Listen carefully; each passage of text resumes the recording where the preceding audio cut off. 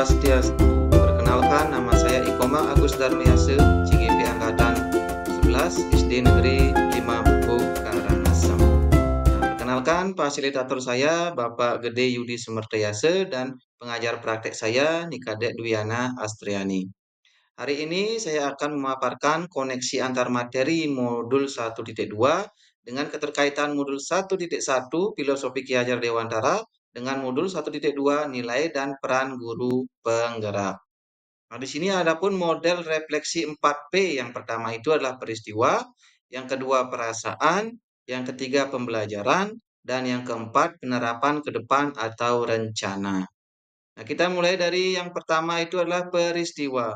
Momen yang paling penting bagi saya dalam proses pembelajaran modul 1.1 hingga modul 1.2 yaitu modul 1.1, guru merupakan among yang menuntun tumbuh kembang murid sesuai dengan kodrat alam dan kodrat zaman, dengan tetap memperhatikan budi pekerti dengan penerapan trilogi pendidikan. Kemudian modul 1.2, nilai guru penggerak harus diimplementasikan dalam menjalankan peran sebagai pendidik, sehingga dapat menggerakkan diri sendiri sesama dan komunitas praktisi.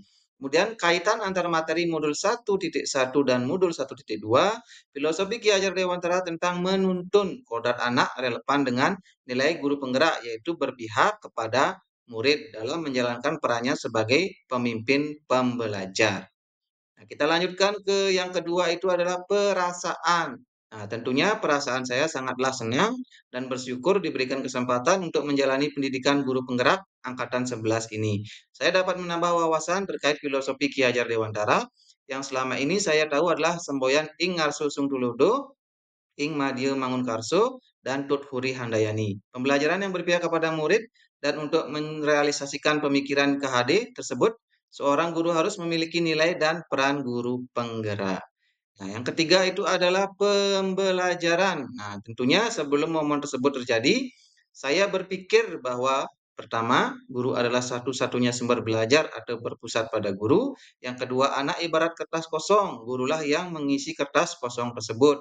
Yang ketiga, target kurikulum, murid dikatakan belajar ketika sudah memenuhi ketuntasan minimum.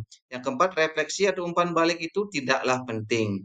Nah, setelah saya mempelajarinya, dan mendapat pembelajaran filosofi KHD, sekarang saya berpikir bahwa yang pertama pembelajaran berpusat pada murid, yang kedua anak bukan tabula rasa, yang ketiga target kurikulum tidak penting, yang terpenting adalah proses pembelajaran. Yang keempat, pembiasaan baik sangat penting diterapkan dalam kegiatan murid. Terakhir, yang kelima, refleksi dan umpan balik dari teman sejawat dan murid itu sangatlah penting. Nah, sekarang yang keempat, penerapan ke depan atau rencana yang akan saya lakukan tentunya untuk menguatkan nilai-nilai dan peran saya sebagai guru penggerak yaitu senantiasa mengembangkan diri mengikuti pelatihan-pelatihan baik itu secara daring maupun luring. Kemudian berkolaborasi dengan semua warga sekolah untuk menciptakan lingkungan sekolah yang kondusif sehingga murid merasa nyaman, aman, dan bahagia dalam belajar. Aktif melakukan refleksi atau umpan balik dari teman sejawat dan murid. Melakukan pembiasaan baik dan kearifan lokal dalam pembelajaran serta membiasakan nilai-nilai positif. Nah, demikian pemaparan dari saya. Terima kasih. Saya akhiri dengan para mesanti.